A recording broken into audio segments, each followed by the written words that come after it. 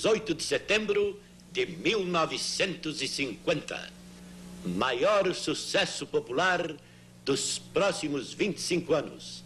A televisão chega ao Brasil. Foi inaugurada às 5 e meia da tarde a primeira estação de televisão da América do Sul. TV Tupi Difusora, Canal 3 de São Paulo. Hoje, Canal 4.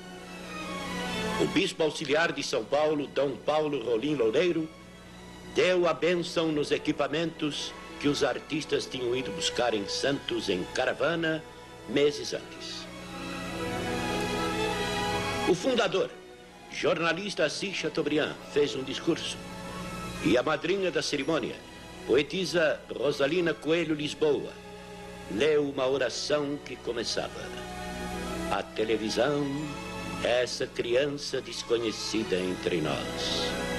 No caso, a criança tinha um pai, Assis Chateaubriand.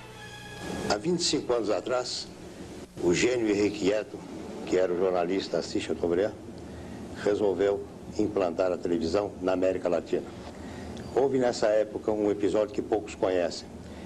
Dois países disputavam a primazia de ser os primeiros a ter imagem de televisão fora nas Américas, fora dos Estados Unidos, Cuba e Brasil.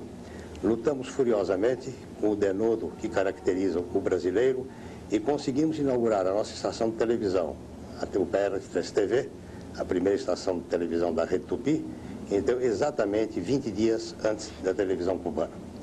Começamos uma televisão, não podia deixar de ser, é, bem caipira. Tupiniquim, como costumava dizer o nosso chefe Chateaubriand.